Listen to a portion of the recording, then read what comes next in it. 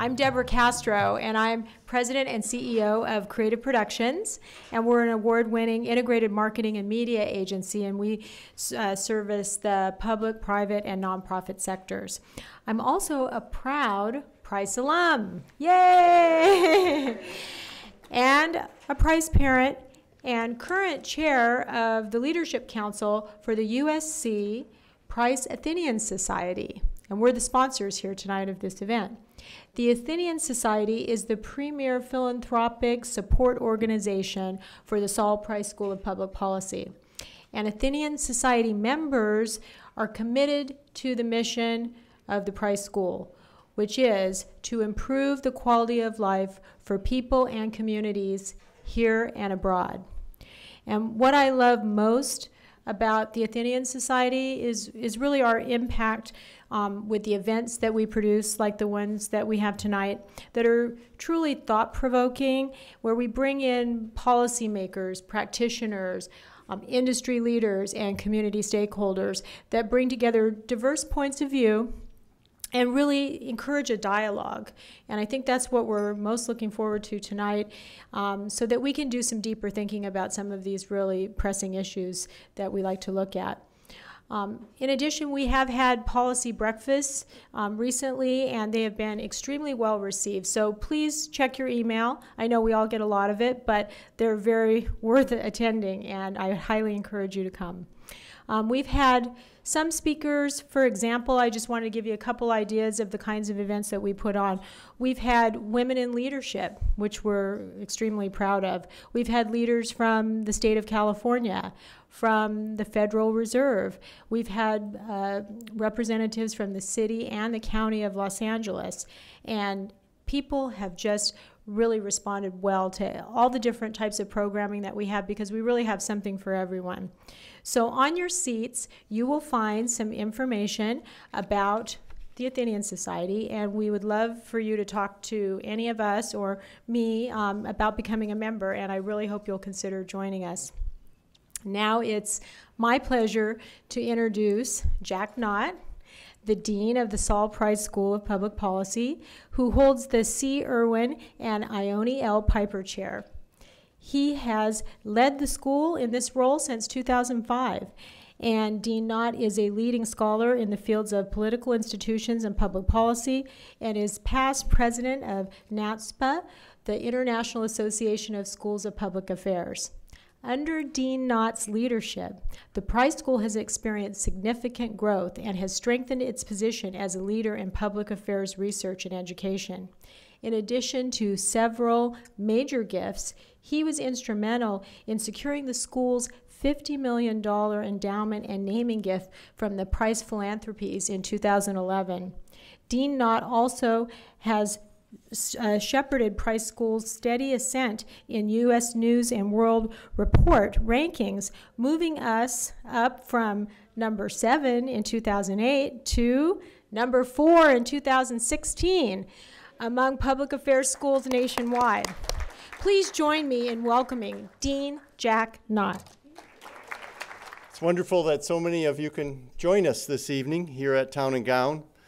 Uh, as we continue our Price School focus on the issue of uh, human rights.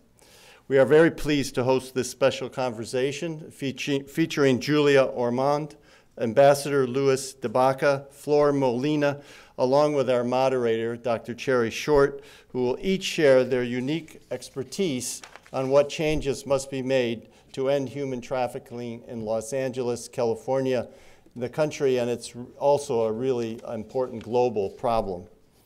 I'd also like to thank our sponsors uh, we've been very fortunate to have people sponsor these events, and so I want to list them. And when I'm finishing listing them, I'd like to give a rousing uh, round of applause for their sponsorship uh, for such a high quality event. It's Budget Watchdogs, Capital Strategies Group, Creative Productions, Grassroots Lab, Regatta Solutions, to Tesoro, and WSPA, the Western States Petroleum Association. Could you please give them a round of applause for their support? As Debbie mentioned, uh, the Price School is dedicated to promoting and developing innovative policy solutions to some of the most important issues facing our society. Our school fosters path-breaking scholarship that influences academic fields, but also informs policymakers. We inspire students to become change makers and problem solvers to help shape our world for the better. And we are committed to making an impact through engagement with our communities, such as with this Dean Speaker Series. Tonight's conversation, titled Ending Trafficking, a Discussion on Human Rights, gives us the opportunity to place a much needed spotlight on one of the most pressing and prevalent issues facing the world today. According to UNICEF USA, an estimated 21 million people around the world are trafficked, with $32 billion in estimated profits generating by trafficking worldwide.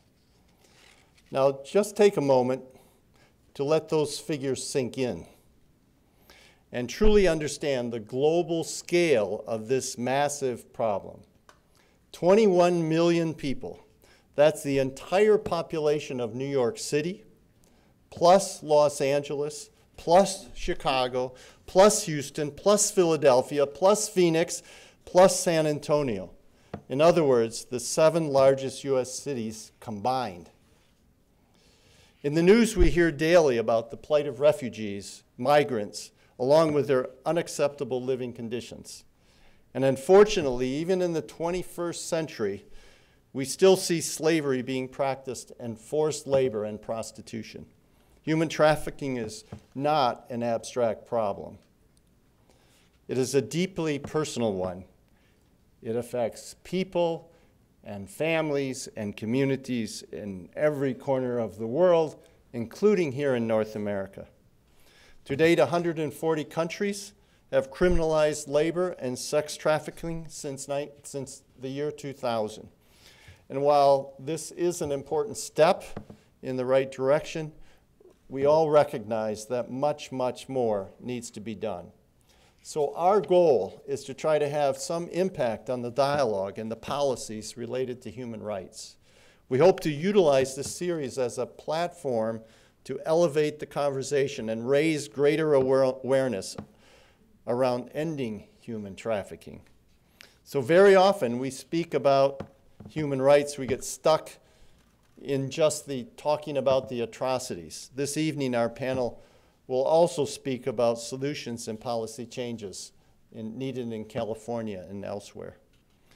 And we are privileged to have a very distinguished panel whose tremendous efforts and dedication contributed to the passage of SB 657, the California Transparency and Supply Chains Act, which requires retailers and manufacturing companies with worldwide annual revenues of $100 million to report on their specific actions to eradicate slavery and human trafficking in their supply chains. This legislation supports human rights standards, advocates, advocates corporate social responsibility, and benefits consumers through heightened transparency. So given the remarkable expertise and range of experience of our panel, I look forward to a very, very insightful conversation. So at this time, I'd like to introduce our moderator, Cherrie Short, the Associate Dean of Global and Community Initiatives and Professor of Practice in the USC's Suzanne Dworak Peck School of Social Work. Cherrie is also a visiting professor at the University of Wales, Cardiff, and I happen to be her lucky husband as well, in full disclosure. Before coming to USC, Cherrie served in Tony Blair's administration in the United, United Kingdom for over 10 years as an elected politician and as a member of the UK Race and Equality Commission. She later became the Race and Equality Commissioner for Wales, during which she oversaw all race relations and human rights issues that affected Wales, including working on the race relations laws for the National Assembly of Wales. She received the esteemed CBE honor. For those of you not British, that's the commander of the British Empire. I always tell her the only person left to command is me, but uh, there you have it. It used to be a great empire. Uh, the UK's highest, it's actually the UK's highest uh, public service award given by Queen Elizabeth II for extensive work in race relations and human rights. Cherrie is also known, even though she's a professor of practice, she's known for being a doer. And she has spent her working life uh, fighting for equality and social justice. She's an experienced advocate on social justice and the criminal justice system and is a qualified social forensic social worker. I hope I got that right. Okay, so please join me in welcoming Dr. Cherrie Short.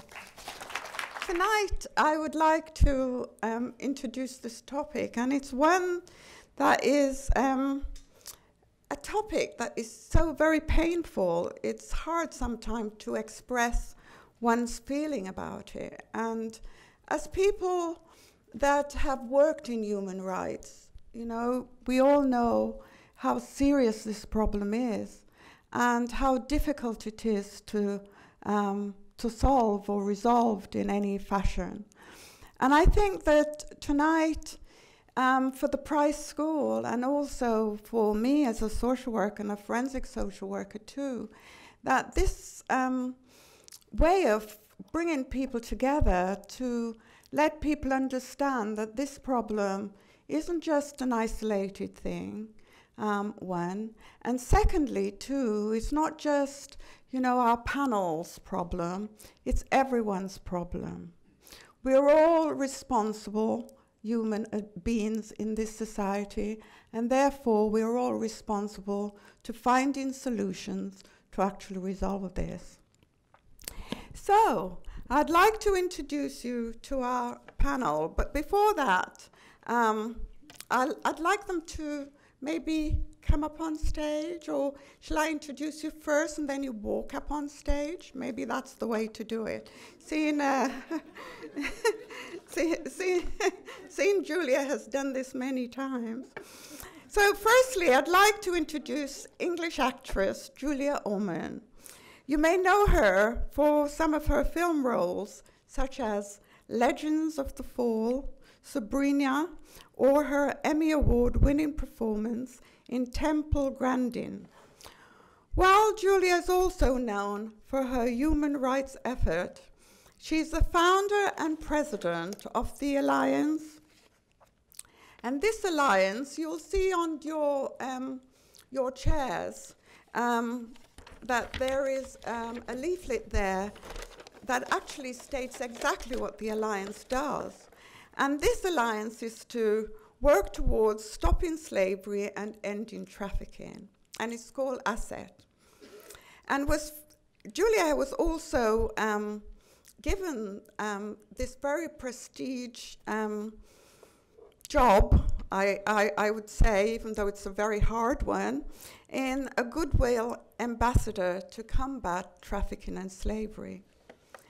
Julia has also appeared as an expert witness before US Congress and the United Nations for her advocate work in human trafficking. She has received the Crystal Award and the Peace Award for her amazing work in these issues. And we're so wonderful and happy to have her here tonight. Please, Julia, join me on the podium. Thank you. The next person that I'd like to introduce is Flor. Um, Molina, we're so pleased to have her here tonight with us. She's a survivor of trafficking and is kind enough to share her story with us today. She's the founding member of CAST, Survivor Advisory Caucus, which is an organization that helps to empower victims of trafficking. Flora works to provide services and create policies that help people who are powerless in this situation. She has testified for the two bills, which Dean Knott mention, which is the AB 22, the California Trafficking Victim Protection Act, and SB 657, the California Transparency in Supply Chain Act of 2010. So again, we're so wonderfully lucky to have Flora to actually tell us something about what people actually suffer under these circumstances. So can we give her a warm hand of applause? Thank you. And then the next person, but last but not least, We have Luis DeBaca with us today. Luis is the director of the State Department Office to monitor and combat trafficking in persons under President Obama's um, um, presidency. He has investigated and prosecuted many cases involving human trafficking and is the director of the Department of Justice, SMART, Office of Sex Offending Sentencing, Monitoring, Apprehending, Registering, and Checking. So please, again, welcome Luis. Thank you. Before I join them, I just wanted to set the stage once more. This is a widespread contemporary exploitation of men, women, and children and of course, we know that is unacceptable. I'm sure everyone in this room would agree. Human trafficking is indeed an epidemic. That is a blight on our society. We're here today to learn about the solutions and what every one of us here today can do to make a difference. Why do you think that human tra- trafficking is so prevalent in this society? I mean, it's one of those questions that I think that there must be something that stir inside of us when we think about it. So somebody wants to start with that? Um, well, our perspective is to, is to work on supply chains. So I think people who tackle different forms of trafficking may come up with a different answer. Um, our approach has very much been supply chains and and I would say it's as lousy an answer as habit, historical habit, and belief that when we made it illegal, we got rid of it instead of doing the work. Um, and much like prohibition, it just went underground and festered and got worse. Um, disbelief that we can solve what's known as the oldest issue in the world, disbelief that that will ever really end once we do know about it and feeling overwhelmed. Um, and then that leads to denial. Um, and I think that for me, the simplest way I could put it in terms of forced labor and supply chain is slavery of old was, I think everybody would agree, an aberration of the way that we trade. Slavery today is an aberration of how we trade. Right. In effect, why do you think that you know, that we've moved over the centuries, surely, and yet we're in a different state of um, understanding society, and still we have modern day slavery. Why do you think humans have to do this to other people, to, to people who are so similar to themselves? It's very hard to actually understand that, and I'm sure people here tonight would like to know why people behave in this way. Why do they want to sell other people? Why do they want to treat them so badly and poorly? Why? The first and longest standing non governmental organization that continues to this day is Anti Slavery International, that goes back to the days of William Wilberforce. And yet, 200 years later, we continue to have this problem. I think that there's a couple of things. First of all, thinking definitionally. What we're talking about is a violation of the international law of slavery. It's a jus cogens international law norm, specifically not to hold somebody in involuntary servitude. But I think one of the reasons why it survives, there are all of the cruelties and the perceived market advantage of using that cruelty. Um, that a trafficker may end up having. So at the end of the day, there's the personal, there's the unscrupulous employer or the unscrupulous recruiter that realizes that they can profit from that misery um, of the bait and switch um, of you know what you think you're going to get as opposed to what you do get or even somebody who knew that they were going to do that particular type of job somebody who was a farm worker back home or was a prostitute back home uh, or who has maybe never even left their place of origin, but they get trapped in this involuntary servitude. But I think that the big structural thing goes to Julia's point, which is that having abolished this legally and having changed it so our economies are not based on this. There's residual effects of chattel slavery, but slavery does not make up more than 50% of the American economy the way that it used to. I, I would argue that slavery made up more like 80% because everybody in the North who felt that they were absolved from responsibility by not owning slaves were making a lot of money by selling people things around slavery and profiting from slavery. That's not the case anymore. Slavery is illegal. And I think that that is something that we have to take into account when we're looking at what the policy structures are um, and how far we've come over the last 200 years. But I think that Wilberforce's um, words the first time that he introduced an anti slavery bill in Parliament, and I think got exactly one vote for it, which was his own vote, um, starting a 40 year attempt to abolish the slave trade. Um, he closed by saying, Now that you know, now that you've heard what I've had to say, you will no longer be able to say you didn't know. You might be able to say you don't care. And I think that's where we are right now, is now it seems so prevalent because I think a lot of people are starting to accept the fact, to know, and people are starting to care. And so that's kind of, I think, what all of us on the stage have done is to try to, to help channel that, to, to make people more aware, but then also to hold their feet to the fire so they don't just subsume it into a bunch of comfortable euphemisms or different policy approaches that let them not be as uncomfortable as you should get when you think about the fact that slavery still exists. Yes, I think also, before we bring um, Flora in, I think that the, the other thing that is worrisome, and I don't know if the audience feel quite worried about this too, is the fact that surely, you know, with laws that you're mentioning and people caring, that this would um, start not to be happening in the way it's happening con- consistently throughout the world and globally. That's why um, Julia has been so proactive traveling um, across the world, um, looking at ways that um, she can actually work with, with, her, um, with her organization to actually change some of these practices.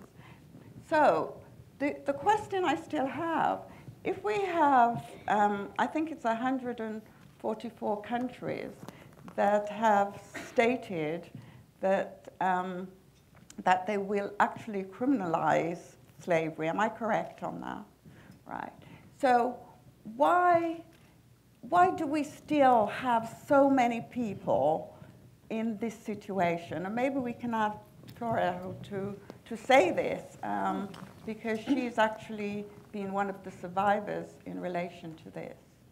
In my opinion and experience, I think it is so prevalent because um, it's so hidden on plain sight.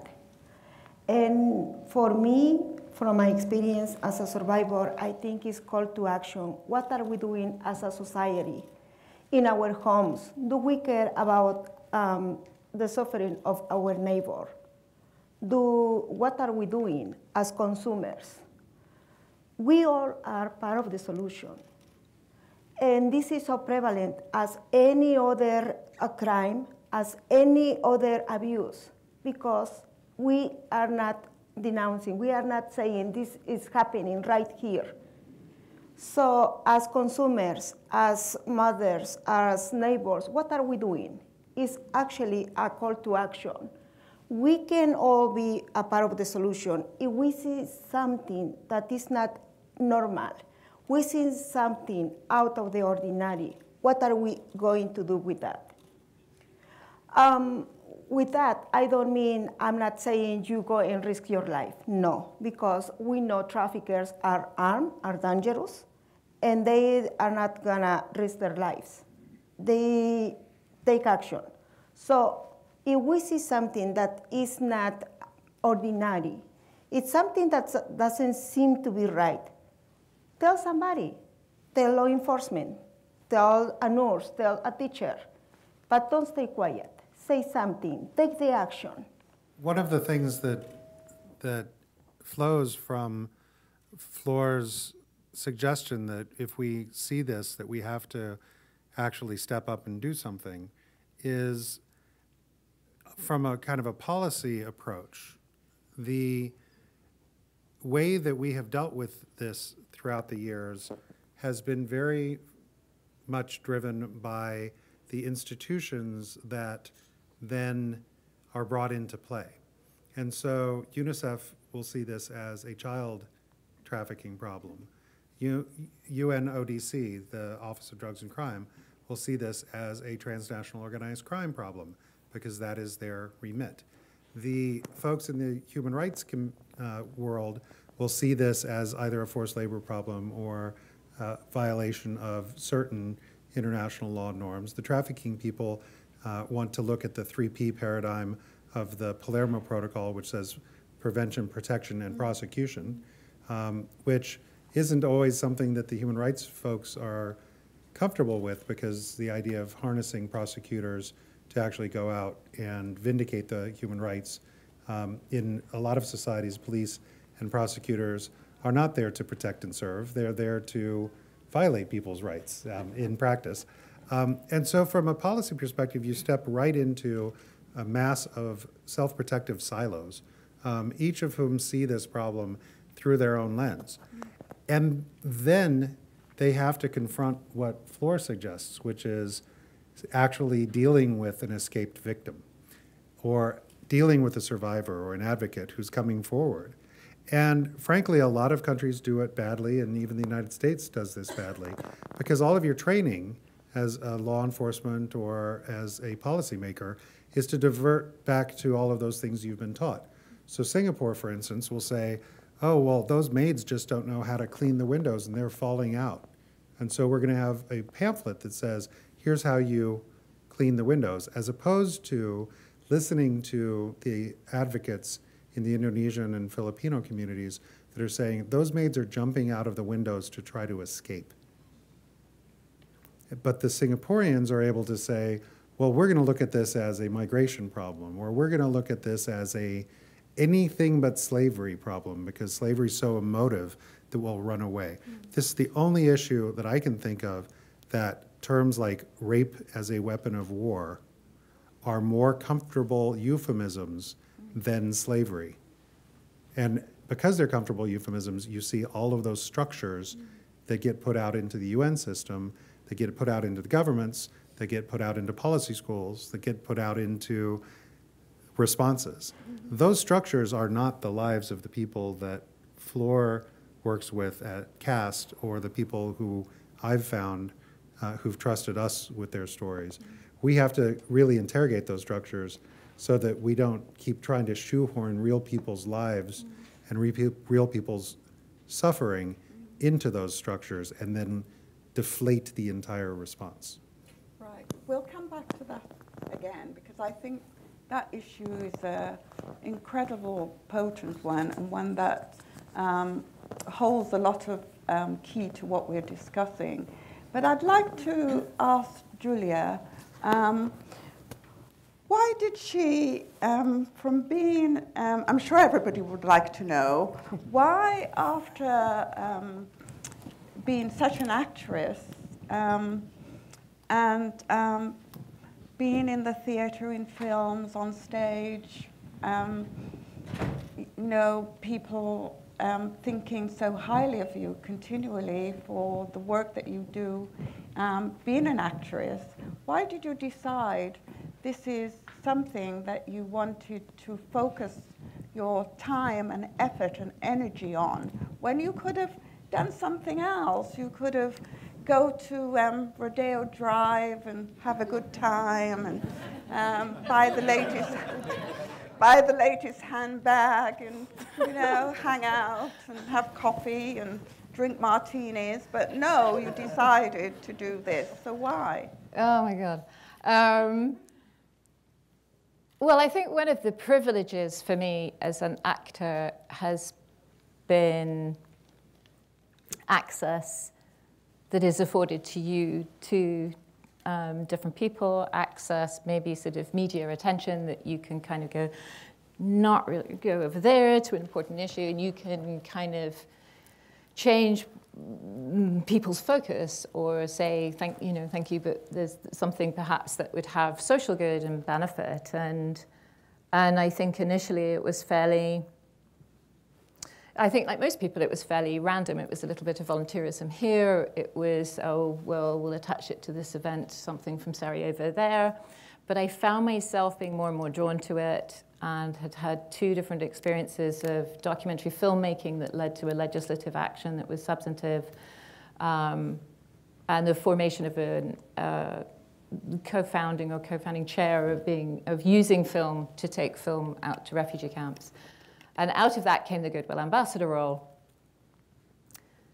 And I have to say that when I was asked to, to, to consider the role, I said absolutely no way, because it was, I'm sorry, so, it was so sad to me as an issue, and it felt like this was a government role, this was police enforcement. I cannot, I mean, I will support it, but I'm not going to spend substantive amounts of my life doing something that is just sad and I cannot connect with the solutions. I'm, I'm just trying to su- sort of support government resources being put to it. And I got told to get over myself and get out there and look at, go and look for it because it's perhaps more connected to you than you think.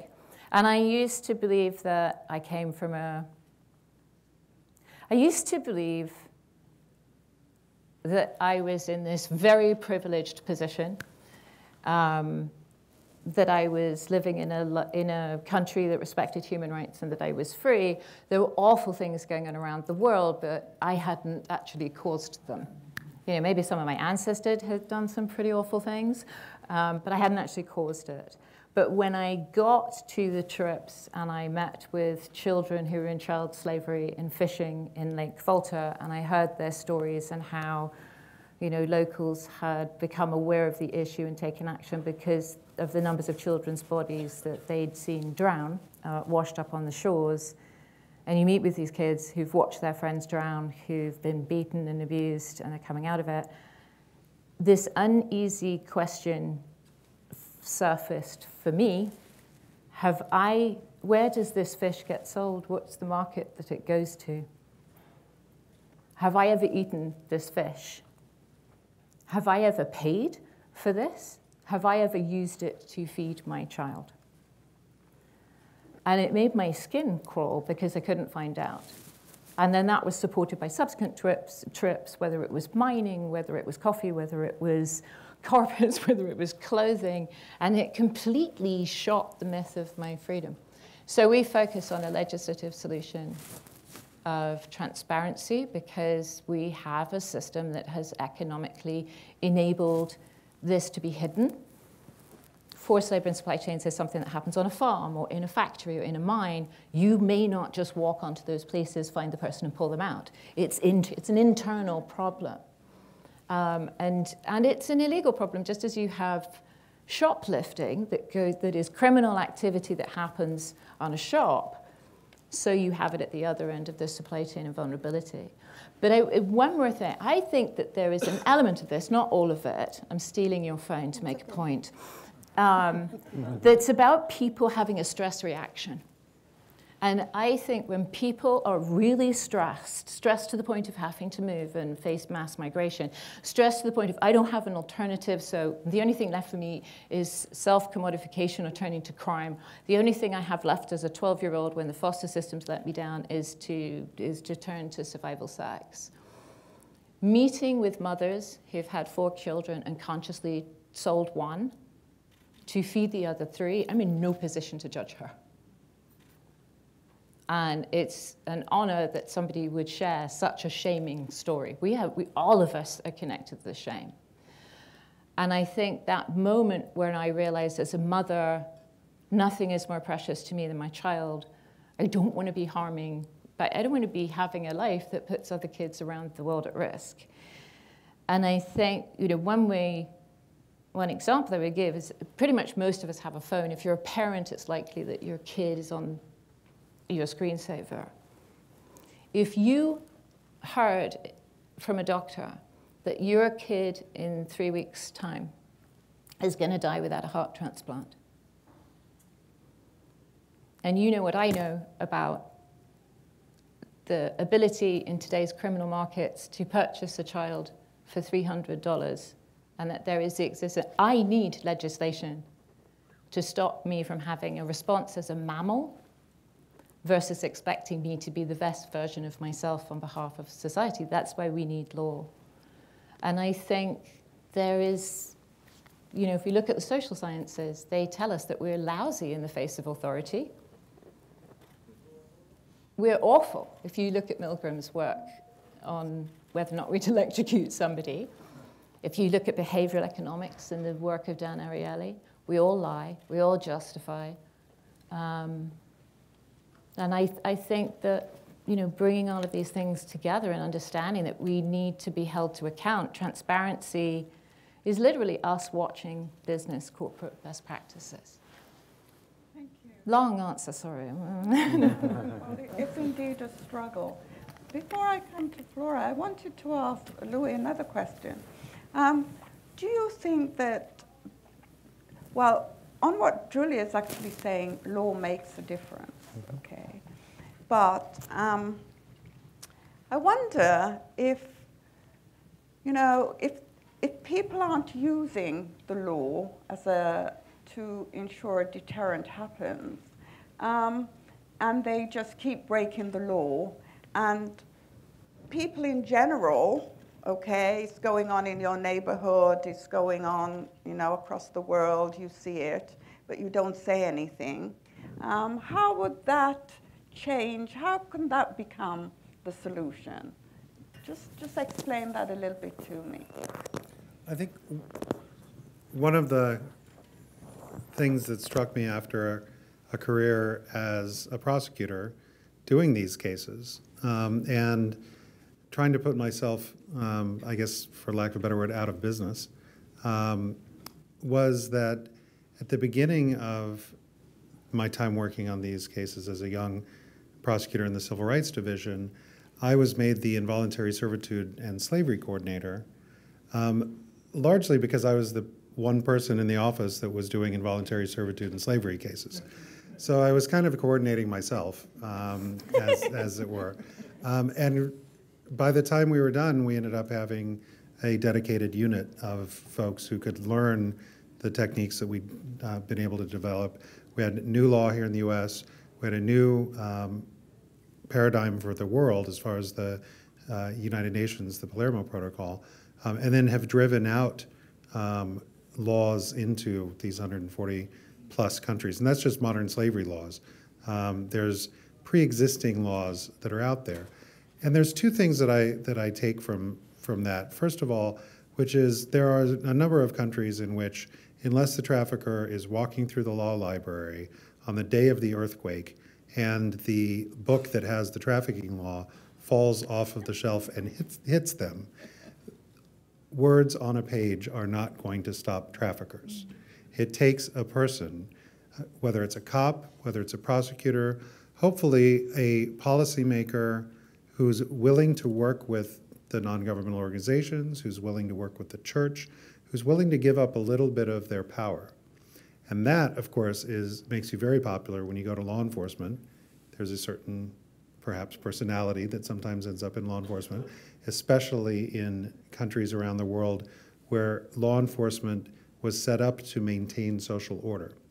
That kind of autocratic law enforcement um, ideal and what everybody is trained to do then has to adjust itself to let's work in a multi-sectoral way where we're bringing in non-governmental organizations and we're empowering survivors to be part of the investigation. That's really the only way to do these cases, and yet we're asking a number of police forces around the world to do something that is anathema to what they were set up for. And I'm not just talking about, you know, kind of dictatorships or anything like that. I'm talking about many of the Commonwealth countries uh, who were set up kind of like Malaysia, um, were set up with the Official Secrets Act uh, and other very heavy-handed ways of, of doing kind of colonial law enforcement. So I think that's one of the, the big impediments. And then finally, the other uh, part is the idea that how representative the law ends up being. if you pass a modern slavery act or if you pass a human trafficking act, but you then allow everybody to just, just keep doing what they're doing. Um, the UK is a perfect example. They were a signatory to Palermo very early on, and they took the position we're fine, we're British. We have, sorry, I should stop right there. No. And, and said, and they would say something that was very true, and yet showed that they didn't really understand what it was that we were trying to do with Palermo. They said, We've got that wonderful White Slave Trafficking Act of 1882, and if there's anybody that wants to move uh, one of those Russian girls in here for prostitution, then we will use that. And we abolished slavery under Wilberforce, so we're fine, thank you very much. Um, and we kept saying, people are being enslaved as domestic servants right here in London. Um, people uh, are being enslaved in prostitution uh, in Manchester. There's a huge uh, case just a few years ago where the police had just ignored all of these young women who were escaping and coming and trying to get help. Um, and but they said correctly, oh, well, we've got a perfectly good anti-trafficking regime that dates back to the 1880s. And it wasn't until the tide came in. A bunch of folks, Chinese immigrants who were, who were the term in English, English is picking cockles. They were gathering uh, little clams um, on a tidal flat, and the tide came in, and people were actually calling home, calling back to China on their cell phones as the tide came up to say goodbye to their loved ones because they knew that they were going to die. And 19 people ended up dying uh, out on those flats. And it was only after that that the UK passed its first updating of its slavery laws in 150 years, the 2009 Coroners Act, which made it illegal to enslave someone in Britain. Before that, it was illegal to move someone into the country for prostitution, but it wasn't illegal under the criminal law to enslave somebody. And I think that that's the, the problem that we have is that even kind of liberal democracies that care about human rights often need that tragedy. The sacrifice of those cockle pickers has then allowed the UK to do cases, much as the sacrifice of 72 men and women who were handcuffed to their sewing machines in El Monte back in the 90s. And if it hadn't been for the El Monte case having the same effect on the, on the United States mm. that the cockle picker case later had on the UK, we wouldn't have a Trafficking Victims Protection Act. We wouldn't have funding for, traf- for trafficking organizations. When survivors came forward, we would have simply mistaken them for something else. And unfortunately, that's what it seems like it takes. It takes something horrible. So the law can be in the books, there can be a structure, and yet it seems as though it takes a huge tragedy. And one of the things that I think all of us have worked uh, to try to accomplish is how do we raise people's hackles on this so that it doesn't take 19 people drowning to get them to do something? Because one person enslaved in a garment factory here or one person enslaved in prostitution here is as much of a tragedy as those 19 people. So we have a challenge, I think, for ourselves as to how do we convey that uh, and how do we get people good and mad. And I think the, the point is that I think that you're all making is that, you know, um, people's lives are precious. But often, unless it actually touches other people to make them aware of what the tragedies are, then it's very unlikely that they will do anything to actually change it.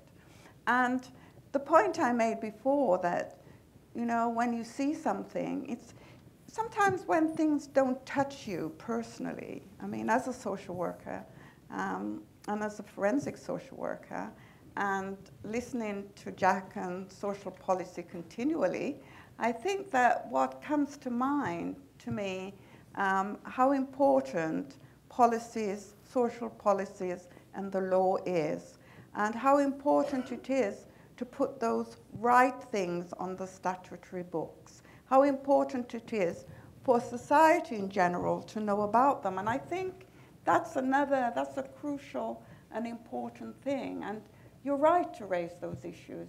You're very right to say that, you know, I don't really want to admit that Britain was so awful, but the truth of the matter is that exactly what happened, and it wasn't, it wasn't easily done. People just kept denying it, and I think that's what people tend to do because it's so awful that you can't really get your mind around it to think that this could be happening and you're letting it happen.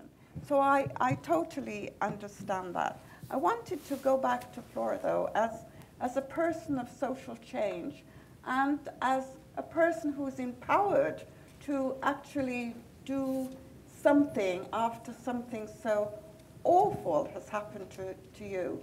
Um, would you share some of your, just share that story with, um, with us here tonight? I think that it will put things in context for people to understand that it's not removed from our lives. It's not something that is happening in another world. It's actually happening here among us. And it's happening all the time. And therefore, it's really, truly important to be diligent and not turn your back on what's currently occurring.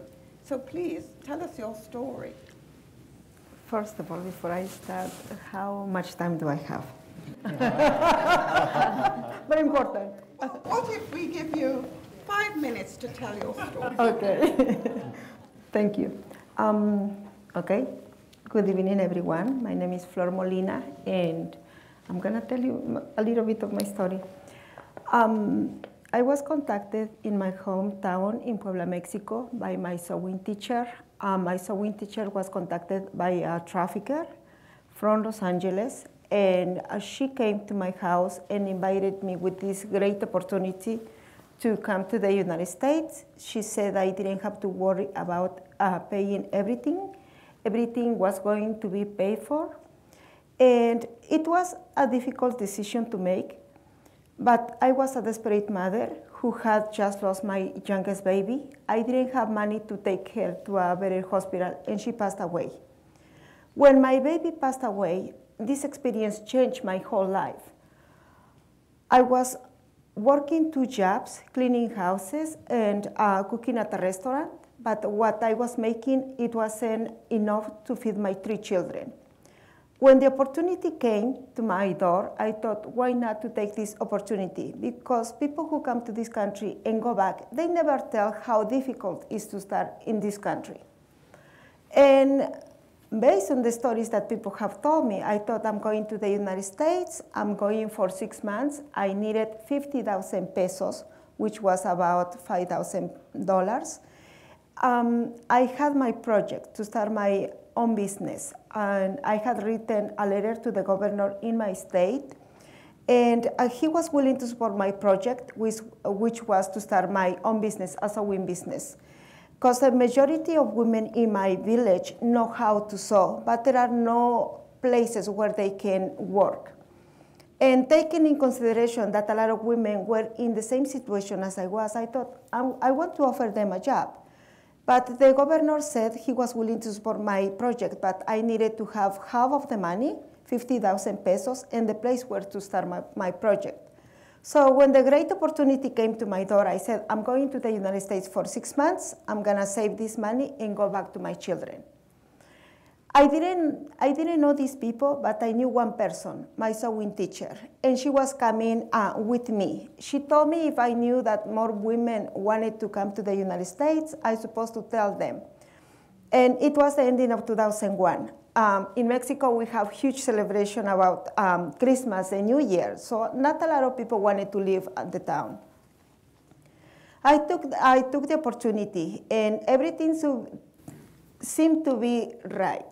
They asked me for my birth certificate, they asked me for my Mexican ID, because they said they were going to make the arrangements for the trip. From my hometown to Mexico City, I traveled by car, and in Mexico City, for the first time, I took a, a flight. Um, I flew from Mexico City to Tijuana. In Tijuana is where I met my trafficker, and I haven't ever been that far from my hometown The farthest um, place I have been is Mexico City. So I didn't know where I was. Uh, even though we were in Tijuana, I didn't know I was in Tijuana. There I met my trafficker. My trafficker wasn't a nice person. The moment I met her, um, she didn't seem to be a nice person. She, she wouldn't talk to me. She wouldn't turn to talk to me. She just talked to her crew, her niece, and my sewing teacher. So it, this way it worked. And my trafficker talked to her niece. Her niece would talk to my sewing teacher, and then my sewing teacher would tell me what they were saying. And the moment I made my, made my trafficker, she asked me for my documents, which I didn't have them with me. They were with her niece. And she said for my safety, my safety, it was better that she kept my documents. I thought it was weird, but she's been in this country, you know, her whole life. I didn't know anything about the culture in this country. And I thought I was already in the United States, but later on, the, um, she introduced me to a coyote, a smuggler, a person who helped me to cross the border. Um, the coyote, I always say this because it's important. The coyote was nice, was a nice person, helped me to cross the border. And here in Los Angeles, I met my trafficker again. She didn't tell me about uh, my rights or how many hours I was going to work or anything. The first thing she told me is that I am not supposed to talk to strangers. I'm not supposed to talk to anybody. Um, she know where my children were. She know where my, uh, my mother was. And now that I'm here in the, in the United States, I'm supposed to work for her, and that I owed her almost $3,000 for bringing me over. Now, this is her time, and now I'm here in the US, and I must comply with all her rules. The following day that I arrived, early in the morning, uh, she took me to the factory, showing my, my chores, uh, and again, I'm not supposed to talk to the other workers who would come on regular uh, business hours. Uh, she showed me what my chores were, remind me that I owed her so much money, and now that I'm supposed to work for her. And I thought, I'm in a new country, I don't know anybody. The only person I knew was my sewing teacher, who was there with me in the situation. And um, I didn't want to do anything to angry my boss, because now he's my boss, and I wanted to please my boss. The first three days, I went to her house to sleep, and after the three days, um, my trafficker and her crew, because she had a crew of eight women, who monitor my movements during the daytime, and at nighttime was her niece, who make sure I didn't try to escape. Because she said that um, I was like a wild horse, that it wasn't easy to tame me. Um, after the three days, they decided that I was supposed to sleep in the factory because the time I was using going to her house and coming back to the factory, I was wasting her time. Um, she always reminded me that um, in this country, um, police would not believe me because I was illegally here. I didn't have um, any identification with me, and if anything would happen to me, the police will not care about me. She said that in this country, even dogs have more rights than I did. Because I was here illegally, nobody knew where I was, and nobody would care. And if I did anything to make her angry, um, my children and my mother will pay the consequences. Um, I worked 17 to 18 hours a day, seven days a week, no days off. I wasn't allowed uh, to put one step out of the factory. There was a little glass door that had an alarm. There were bars that they would um, lock them after the workers left.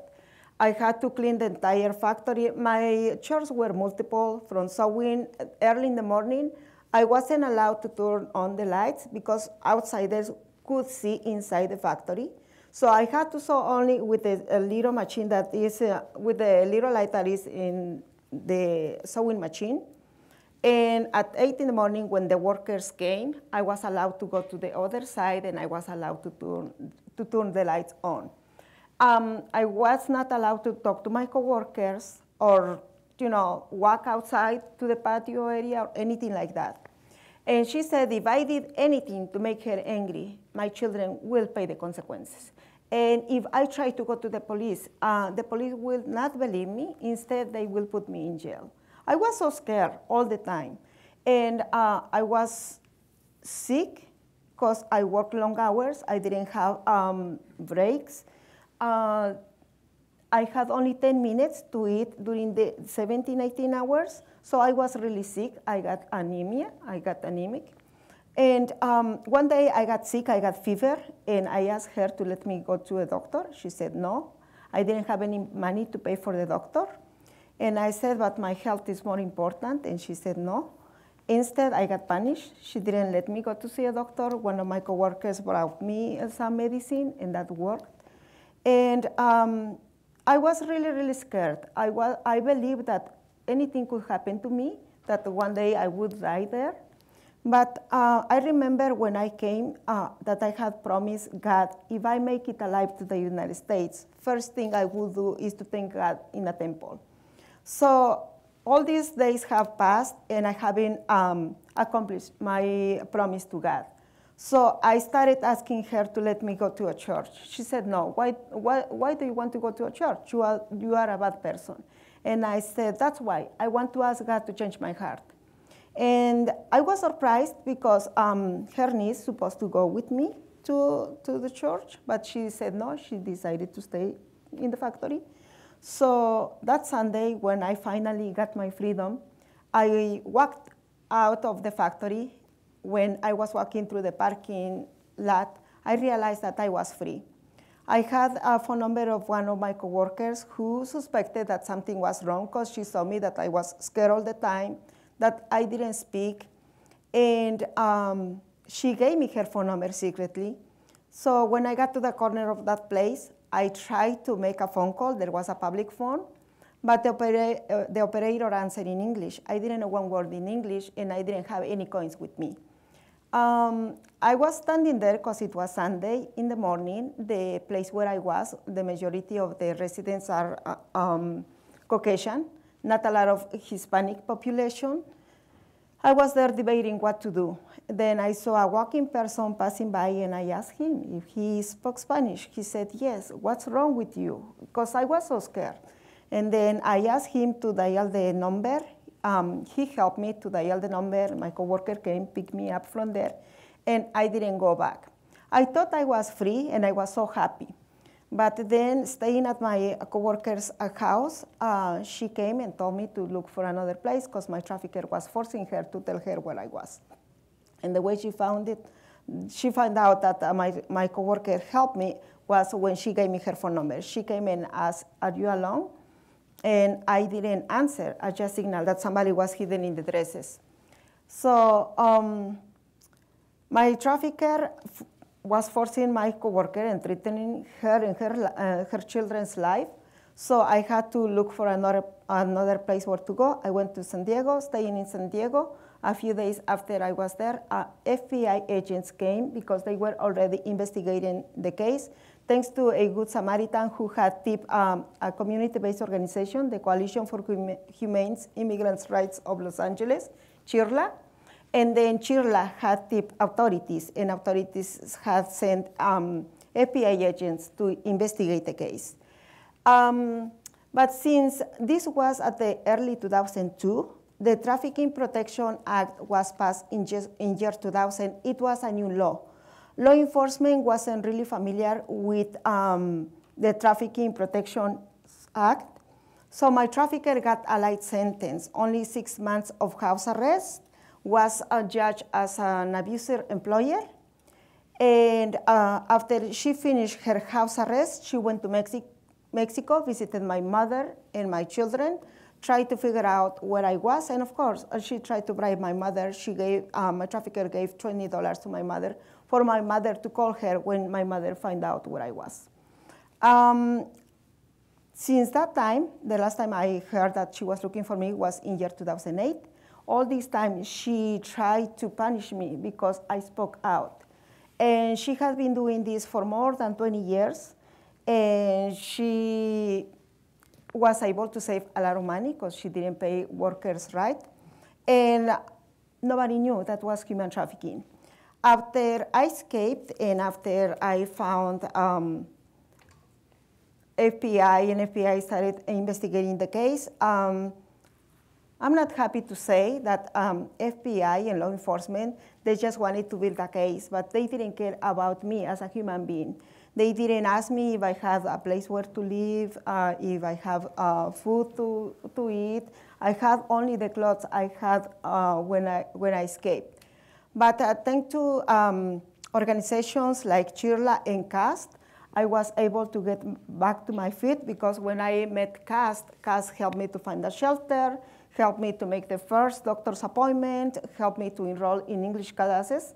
So um, after getting back to my feet and recovering from the trauma, I decided to start uh, speaking out about the issue because what happened to me, it shouldn't happen to anybody else. And um, my trafficker took advantage because I was so vulnerable. I needed um, to save my, my other three children.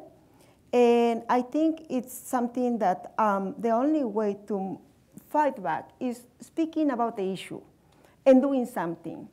And I remember when I was in the in my situation, I was putting label onto dresses because we made party dresses that were being sold in department stores, big department stores, and I don't want to mention them.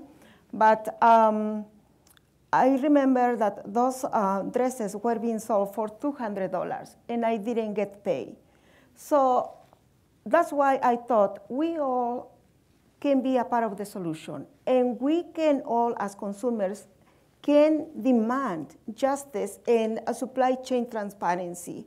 And um, when we had the opportunity, Julia and I, to, uh, to go and lobby for um, SB 657, um, I think um, by passing laws, we can at least do an effort to end the demand and to eradicate um, human trafficking. And human trafficking is, I, I always say, is like, like a monster with so many different heads.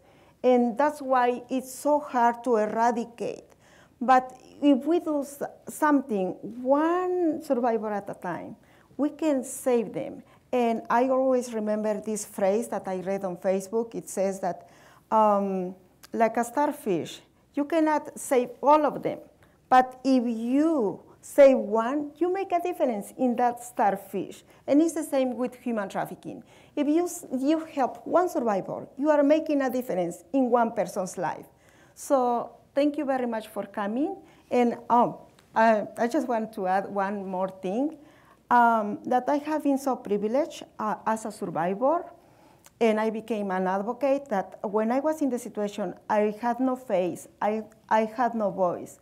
And now, as a survivor and advocate, in year 2015, 11 members, we were nominated by President Obama, and he's the, um, and as a result of the um, survivors um, Trafficking Act of year 2015, um, he selected 11 members from around the country, 11, 11 advocates and um, survivors uh, to advise the White House to combat human trafficking.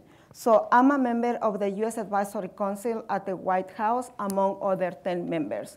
And to me, I always say this is huge because when I was in the situation, nobody, nobody knew about human trafficking. It was a new law. I mean, lawmakers were working to bring a relief to survivors, but it was a new law, and law enforcement wasn't aware of this tremendous um, crime. And now we are at the White House advising the White House, the TIP office, to implement better services for victims.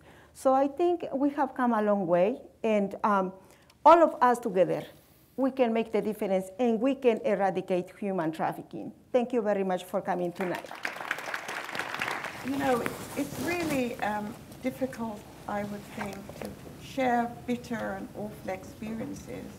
Um, but uh, especially when people have gone through dramatic times in their lives. And so, you know, to sit here and actually be able to relay that story and to go elsewhere and state it takes a great deal of courage. And sometimes I don't think people recognize that. They just think, you know, because it doesn't touch us. But to actually tell your story when you've been treated so poorly. Can you imagine how you feel? So we thank you. And we thank you for sharing that experience because it actually opens our thinking um, for us to understand this isn't somewhere else. This happened in California.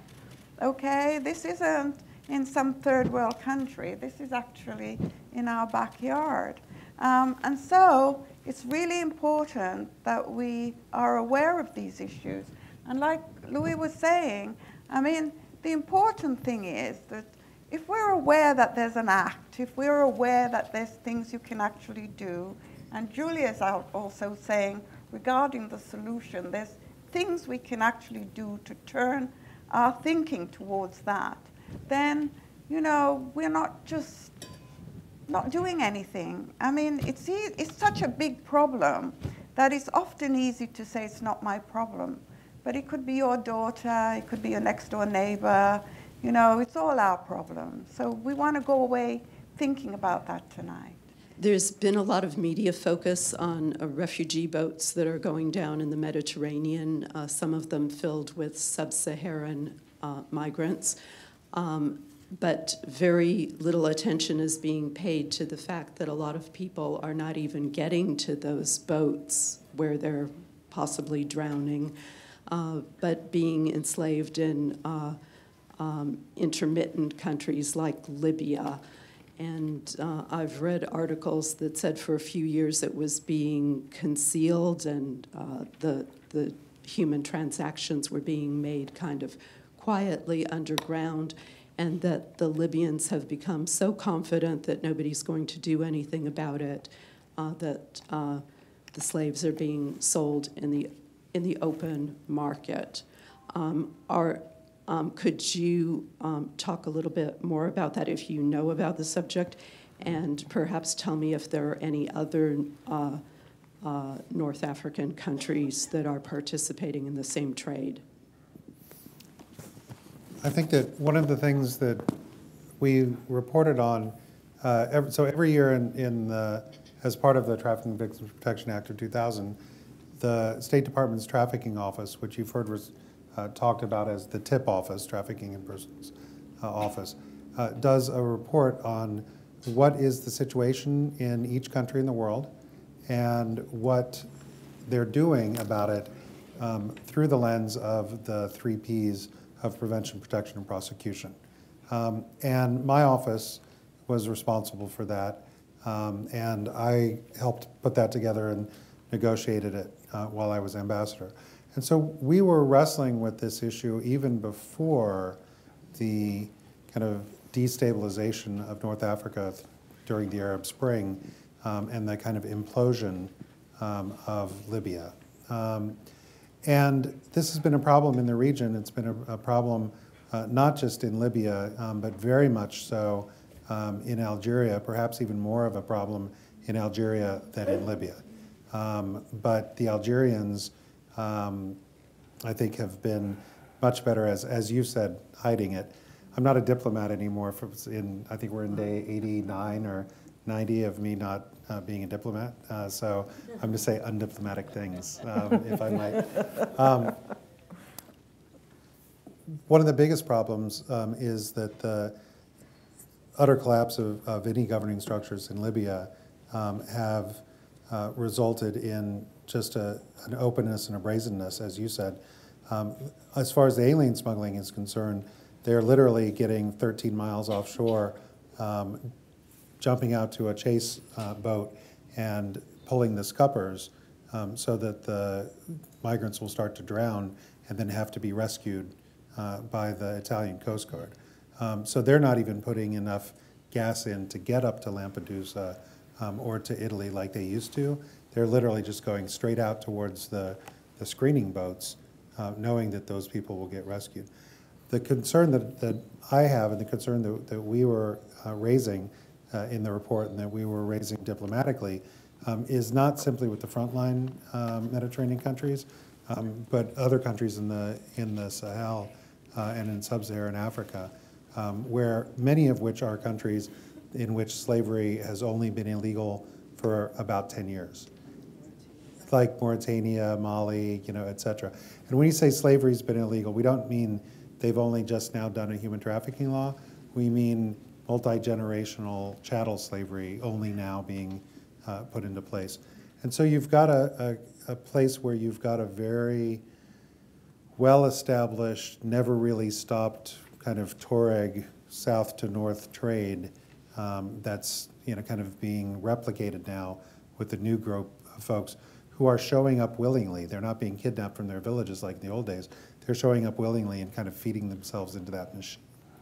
But I think that the fact that you're one of the first kind of folks that's not in Washington in a very small group of North Africanists um, who have actually identified this, to me, I'm going to take that as, as a great sign because that means that you know people are starting to pay attention, people are starting to, to hear about it.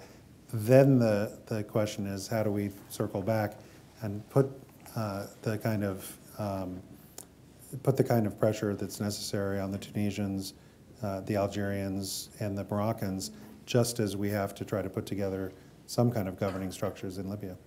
I guess what I would add is that we really do live in a time when there we're living in the first time in history where we can stop slavery. It is complicated for us to get rid of it, but it is possible.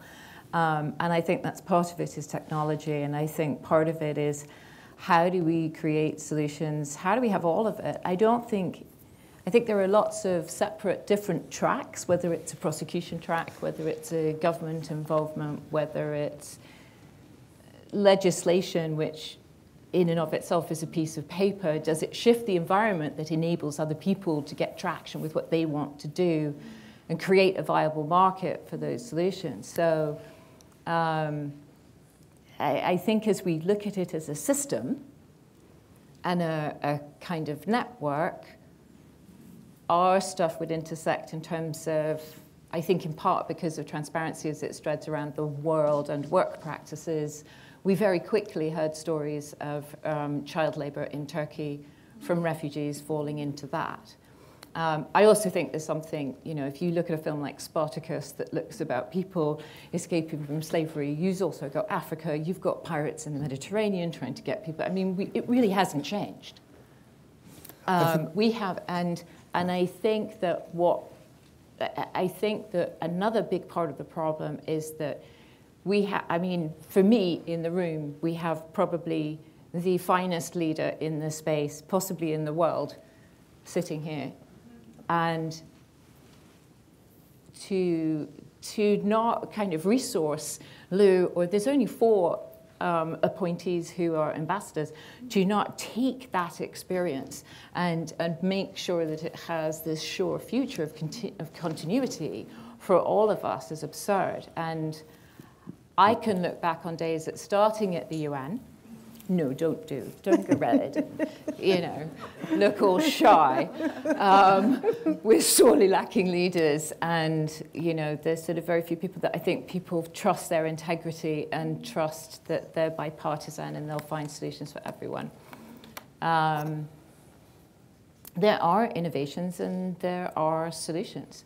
Um, and I think we have to accept incremental change it's not going to turn around overnight. And I think we have to share, share those solutions.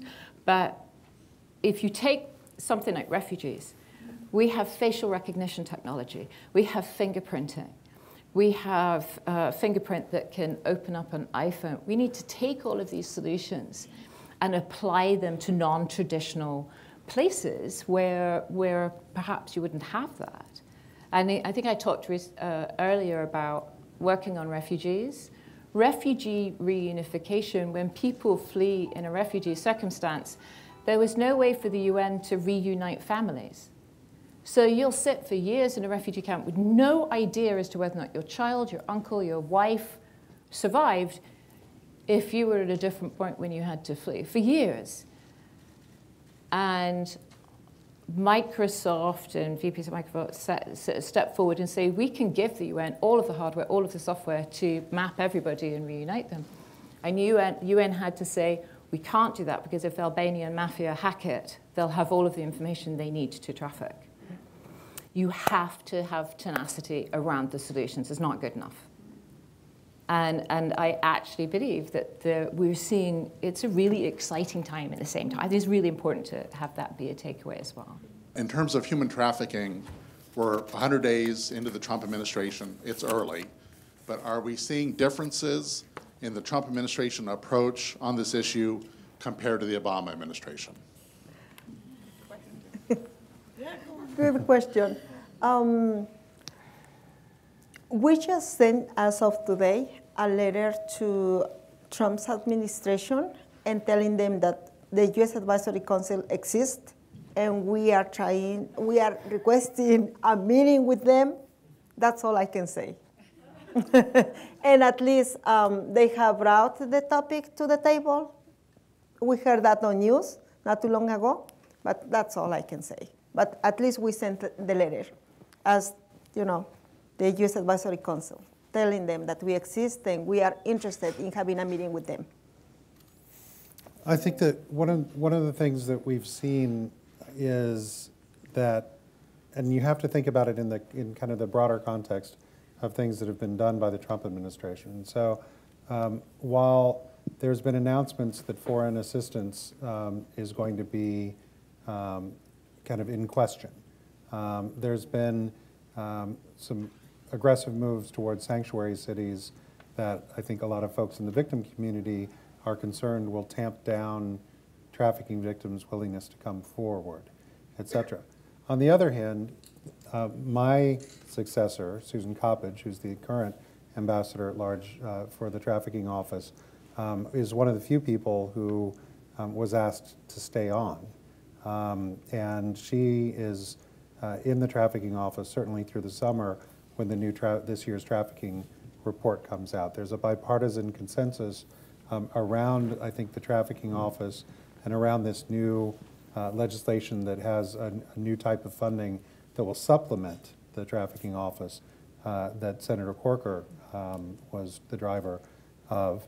Um, and then you've got uh, in both uh, Ivanka Trump, now in an official position, uh, semi-undefined uh, official position, but I think growing portfolio every day. Um, and more importantly, um, the person who she brought in uh, to assist her, who's now uh, the Deputy um, National Security Advisor uh, in Dina Powell.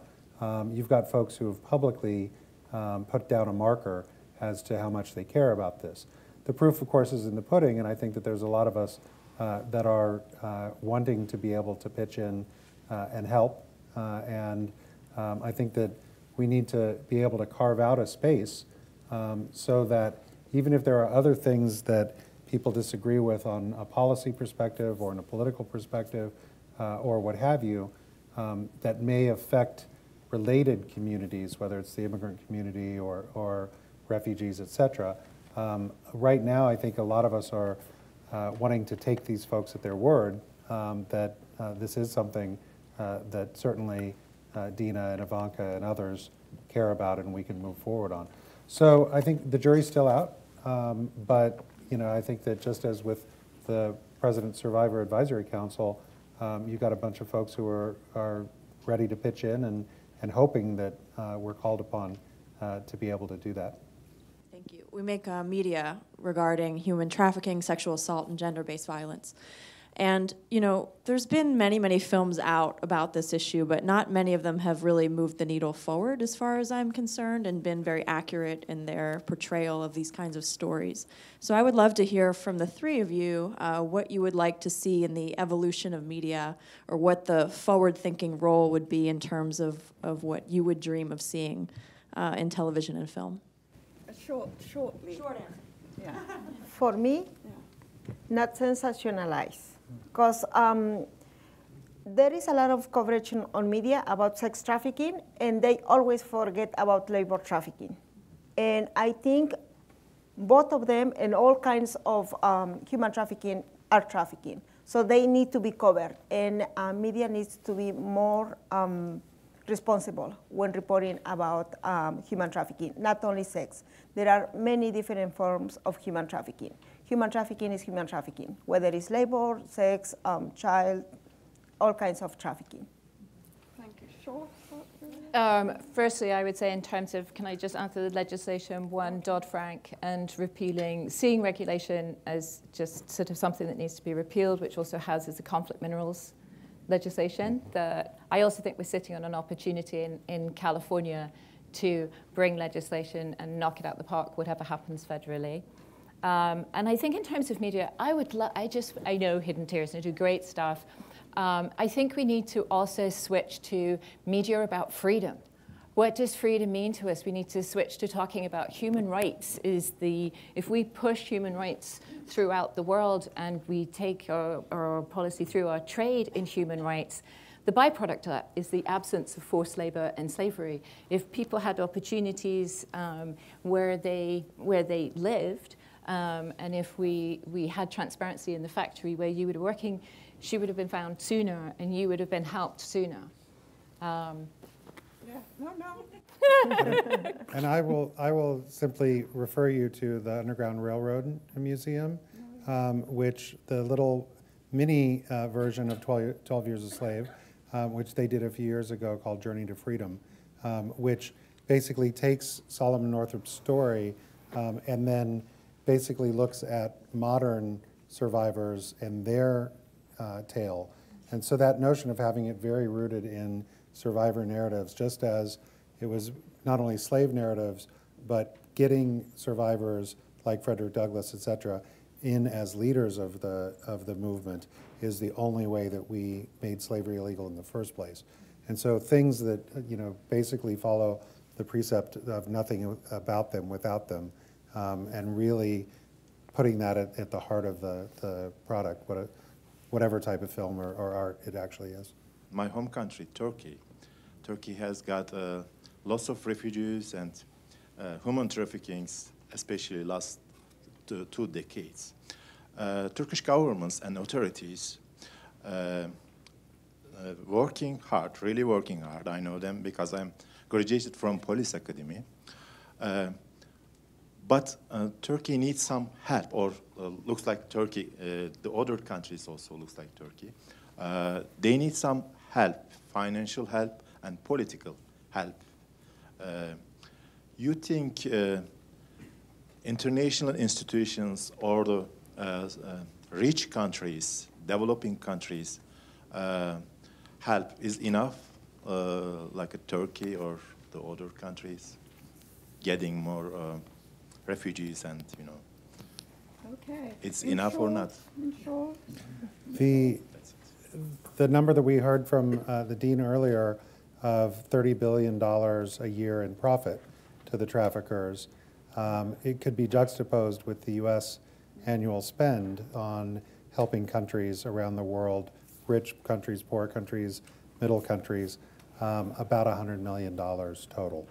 Um, and so uh, if you simply look at what the traffickers are making versus what governments are spending on it, um, and the U.S. dwarfs the rest of the, the donor nations, um, at that point, I think that kind of answers your question as to whether or not the, the donor nations are actually doing what they need to to be in this fight. um, before you come up, Dean, I know the lady over here has been, and I didn't see her because my back was turned here. So I think she has the right to actually say something. Yeah.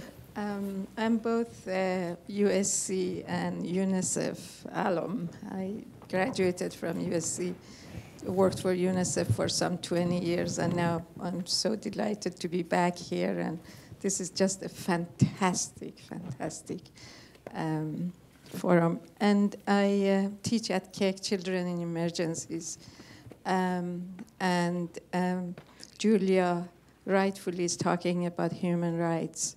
Uh, we know that there is a convention called Convention on the Rights of the Child, and the whole world has ratified this convention.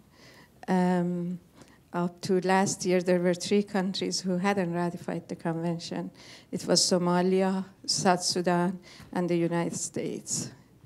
And um, now Somalia and South Sudan has ratified the convention. United States is the only one um, who hasn't ratified the convention. And um, I don't know in the, with the present situation, how do you see that? How do you I mean, it's really important. It has explicit uh, items on trafficking. I, I can only speak for Uh, you don't have yeah. to speak diplomatically. No, no. I will. I can do the undiplomatic bit for you. Well, I, I'll say something that I think is probably still the U.S. uh, position to some degree, and that is um, that the, unfortunately, both um, Convention on the Rights of the Child and CEDAW, um, which had almost universal um, ratification pre-2000, um, were not filling the ecological anti-slavery fighting niche that was necessary that the Palermo Protocol then filled. And I think that whether or not the U.S. ratifies CEDAW, whether or not the U.S. ratifies Convention on the Rights of the Child, many, many, many, many countries that we uh, worked with that were do, not only doing horrible things uh, as far as their response to trafficking, but were actually engaged in state-sponsored slavery and state-sponsored trafficking, were very proud ratifiers and signatories to Convention on the Rights of the Child. So I think that in the Obama administration that we continued kind of the U.S. Uh, skepticism as to whether or not that particular instrument was sufficient to reach the trafficking harm that we were looking for. Um, and my undiplomatic thing uh, is going to be that I really have no idea what's going to happen with the, the next administration, but I don't see them being more forward-leaning on those particular instruments uh, than we were in the Obama administration. It's a powerful would say- tool sorry. for. a- I would just say that from what I know of it, and I'm not an expert of it, one of the stumbling blocks is the age at which the US wishes to recruit people into the army. Um, and that's one of their stumbling blocks. And from UN days, I would say it denies the US a leadership role, especially when it hits child soldiers. Um, I don't really see how, if the US takes this stance and continues with this stance, um, they can talk to anybody about child soldiers. It's also a presidential veto. I don't know if that's something that has changed, but it is a presidential decision, not a congressional um, decision, as to as to whether or not America works with countries that have child soldiers and support child soldiers.